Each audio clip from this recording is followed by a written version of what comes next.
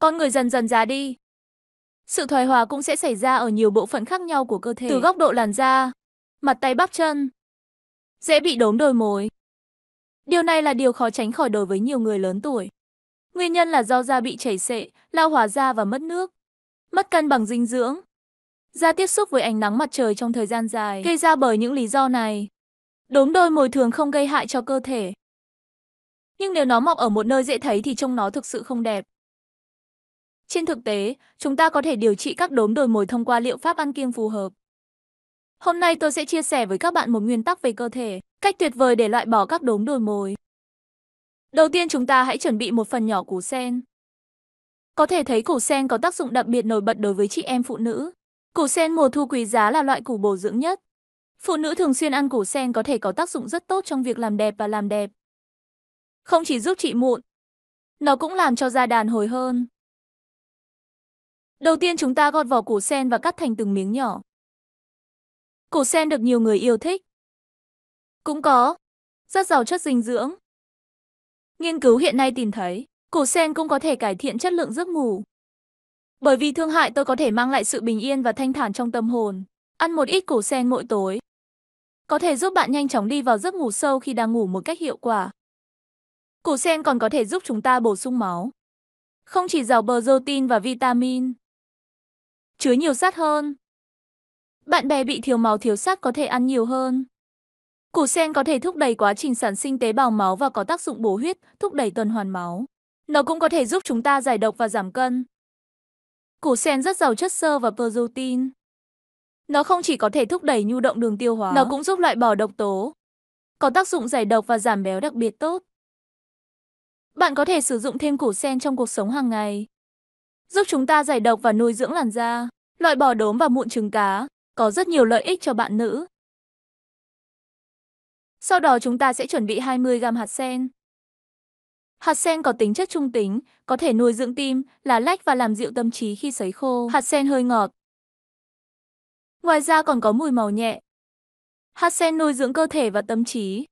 Tác dụng bổ phổi, bổ tim, có thể bảo vệ trái tim, làm dịu thần kinh, hỗ trợ giấc ngủ, hạ huyết áp. Nước sắc hạt sen trong hạt sen có thể làm tăng hoạt động của các enzyme trong cơ thể chúng ta, có tác dụng trì hoãn lão hóa tốt hơn. Ngoài ra còn có nhiều lợi ích cho ngũ tạng. Có thể làm cho kinh tuyến không bị cản trở, khí và máu không bị cản trở. Đặc biệt đối với các bạn nữ, ăn hạt sen thường xuyên có thể bồi bổ tim mạch, vẻ đẹp và vẻ đẹp. Hạt sen cũng có thể giúp làm dịu thần kinh của chúng ta. Hạt sen có thể chữa tim đập nhanh hồi hộp. Hoặc có tác dụng đặc biệt tốt đối với sự lo lắng.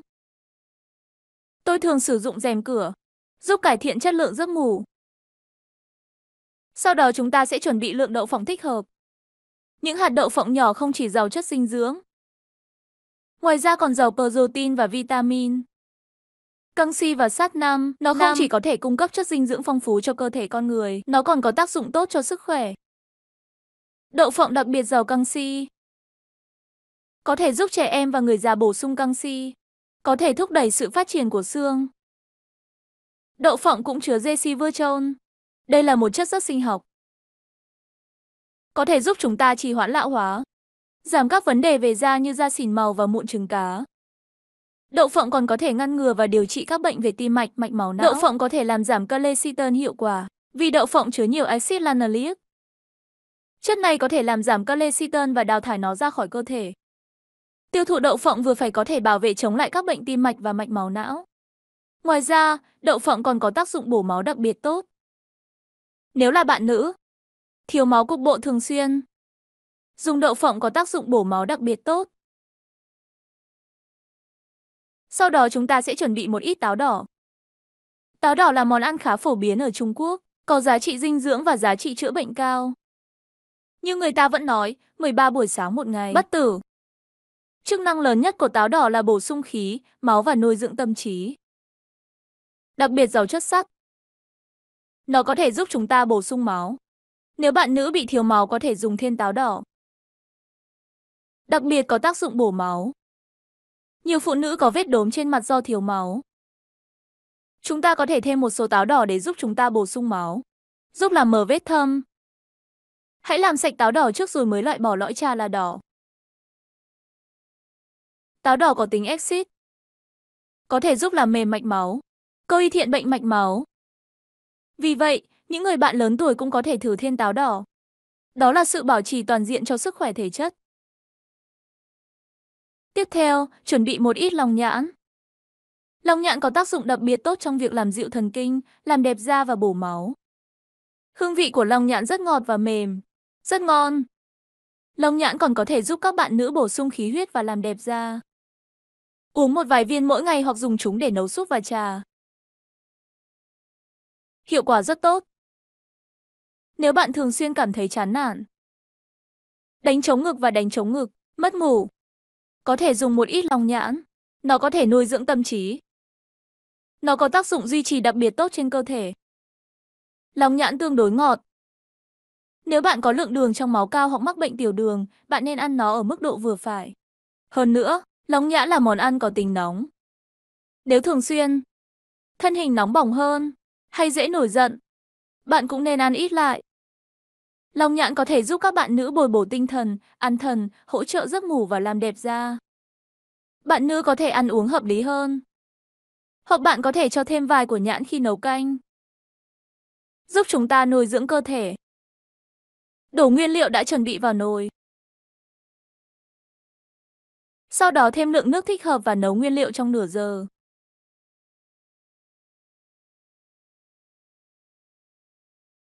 Sự ủng hộ và động viên của bạn là động lực lớn nhất để tôi tiến về phía trước. Súp sẽ không sẵn sàng sau nửa giờ nữa. Món súp này đặc biệt thích hợp với các bạn nữ. Nó có tác dụng bổ sung máu đặc biệt tốt. Và nó có thể giúp chúng ta làm mờ vết thâm, làm đẹp và trì hoãn lão hóa. Nó có tác dụng duy trì đặc biệt tốt trên cơ thể. Đặc biệt là các bạn nữ thường xuyên bị thiếu máu. Đặc biệt các bạn nữ thường xuyên bị thiếu máu có thể sử dụng món canh này thường xuyên. Có thể giúp chúng tôi điều hòa khí và điều hòa cơ thể. Vẻ đẹp và vẻ đẹp. Sau khi uống một thời gian, các vết thâm, mụn trên mặt sẽ mờ dần. Và bức xạ. Toàn bộ con người rất năng động và có sức mạnh kỳ diệu. Những người bạn thích nó có thể muốn sưu tầm và dùng thử. Chỉ cần ăn nó một hoặc hai lần một tuần.